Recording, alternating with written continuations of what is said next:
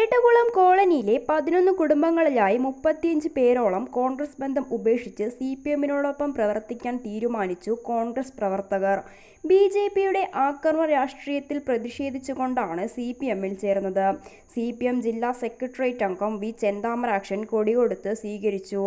C P M Padur L C secretary P C Pramod അധ്യക്ഷനായി. രതീഷ് കിഴക്കേപ്പാടം സ്വാഗതവും വേലായുധൻ നന്ദിയും പറഞ്ഞു.